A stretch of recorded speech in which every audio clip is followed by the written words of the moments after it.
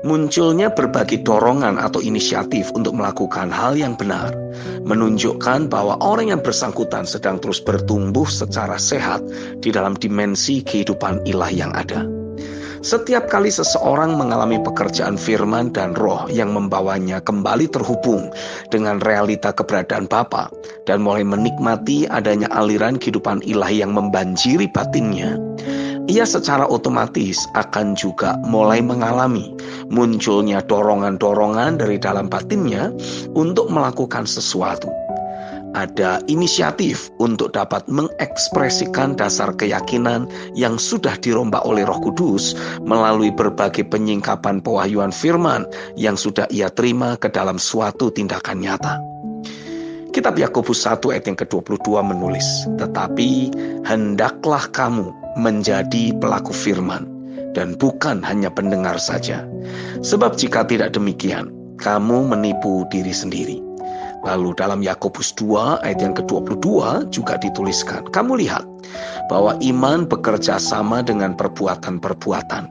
Dan oleh perbuatan-perbuatan itu, iman menjadi sempurna.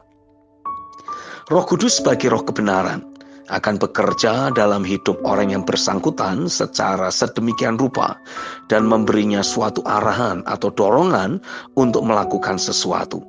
Mengekspresikan dimensi kebenaran yang ia terima dari Tuhan saat meyakini suatu pewahyuan firman. Roma 4 ayat yang ketiga menuliskan, Sebab apakah dikatakan nas kitab suci? Lalu percayalah Abraham kepada Tuhan dan Tuhan memperhitungkan hal itu kepadanya sebagai kebenaran. Roh Kudus sedang membawa kita untuk menjalani kehidupan sehari-hari dengan menggunakan dimensi kuasa iman yang mengalahkan dunia.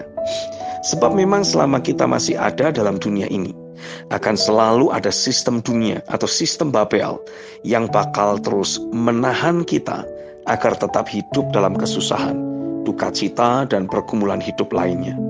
Sementara dari sisi Tuhan, Dia mau membawa kita hidup di dalam berbagai kelimpahan yang sudah sorga sediakan bagi kita. Roma 1 ayat yang ke-17 menulis, Sebab di dalamnya nyata kebenaran Allah, yang bertolak dari iman dan memimpin kepada iman, seperti ada tertulis, orang benar akan hidup oleh iman. Lalu dalam 1 Yohanes 5 ayat yang keempat dituliskan, Sebab semua yang lahir dari Allah mengalahkan dunia. Dan inilah kemenangan yang mengalahkan dunia, iman kita. Tapi untuk meraih dan menikmati apa yang Tuhan sudah sediakan, dibutuhkan tangan iman yang merupakan hasil dari kita menerima atau meyakini suatu pewahyuan firman dan mengalami adanya dorongan atau munculnya suatu inisiatif yang berasal dari dalam manusia roh kita untuk mengekspresikan apa yang kita yakini tersebut dalam tindakan nyata di dalam kehidupan sehari-hari.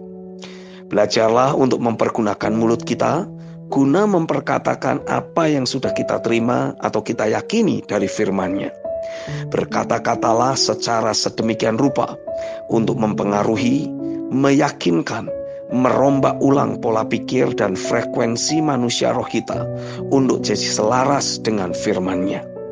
Di saat frekuensi rohani dalam manusia roh kita jadi selaras dengan frekuensi pewahyuan firman yang kita terima, dan konsep pikir kita mulai dapat mengimajinasikan secara detail bagaimana pewahyuan firman itu akan tergenapi dalam kehidupan sehari-hari, maka otomatis dari dalam batin kita akan mulai muncul suatu dorongan atau inisiatif rohani yang saat kita taati akan mengkondisikan diri kita jadi mengalami berbagai terobosan dan kemenangan yang selama ini kita rindukan. Markus 11 ayat yang ke-24 menulis, Karena itu aku berkata kepadamu, apa saja yang kamu minta dan doakan, percayalah bahwa kamu telah menerimanya, maka hal itu akan diberikan kepadamu. Lalu dalam Yohanes 15 ayat yang ketujuh ditulis, Jikalau kamu tinggal di dalam aku, dan firmanku tinggal di dalam kamu, mintalah apa saja yang kamu kehendaki, dan kamu akan menerimanya.